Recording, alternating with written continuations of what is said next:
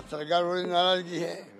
ना कर्मचारी नाराज़गी है ना मोदी जी का वो हवा है जो पहले उन्होंने बना ली एक बार तो। वो हवा भी अब नहीं है।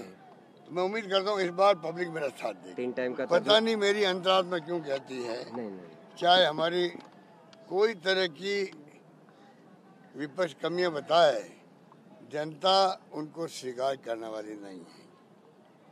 किसी कॉर्नर से कोई बात आए गलत सदद आए कि सरकार नहीं बननी चाहिए, चाहे मोदी जी पड़ाव डाले यहाँ पर।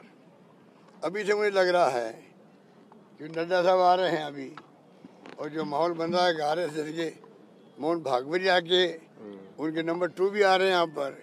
तो राजस्थान को टारगेट बनाया हुआ है देश के अंदर, राजस्थान।